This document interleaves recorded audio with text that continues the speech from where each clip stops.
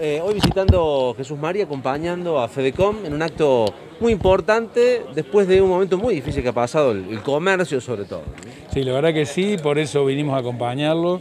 Primero porque Fedecom ha trabajado muy fuerte con el Ministerio todos estos dos años, con los protocolos, con toda la articulación para que juntos levantáramos el comercio en un momento muy crítico de la pandemia y además porque hoy junto a CAME, junto a Fedecon y junto al intendente Jesús María estamos entregando este vehículo que eh, también premia el esfuerzo de los comerciantes y los emprendedores de Córdoba.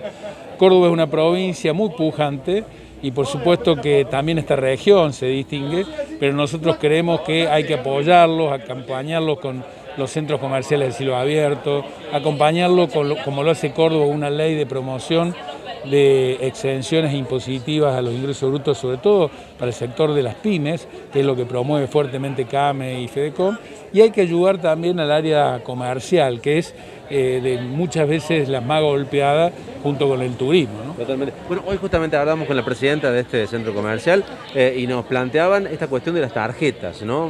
El, 70% o 80% se hace eh, por venta a través del débito y el crédito. Y hay una cuestión controversial allí en los intereses que por ahí se cobran, ¿no? ¿Cómo se puede hacer para este, evitar que este costo lo pague el comerciante? Bueno, el Ministerio tiene defensa del consumidor que trabaja permanentemente para cambiar no solo la cultura que generan las empresas eh, que tienen las tarjetas de crédito y que muchas veces van en contra del consumidor mismo.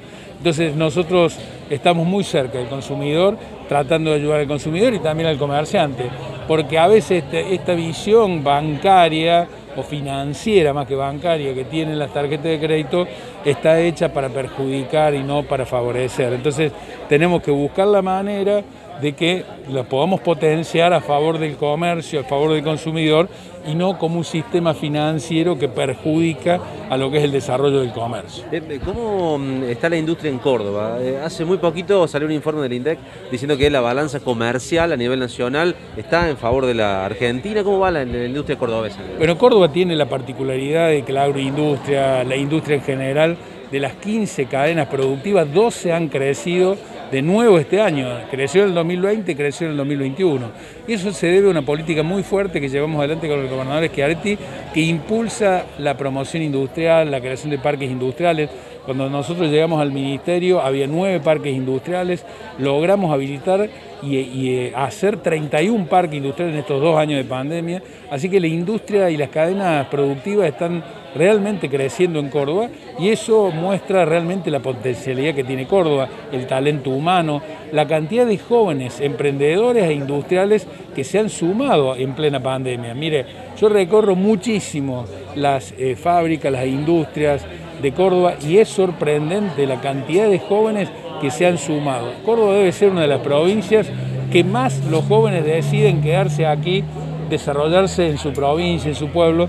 Por eso estamos potenciando con un proyecto, un programa que tenemos que se llama Un pueblo, un desarrollo productivo, donde potenciamos al pueblo. Nosotros tenemos 426 pueblos además de la ciudad de Córdoba. Entonces estamos potenciando los pueblos del interior, porque si los jóvenes que nacen ahí podemos hacer que puedan tener su trabajo,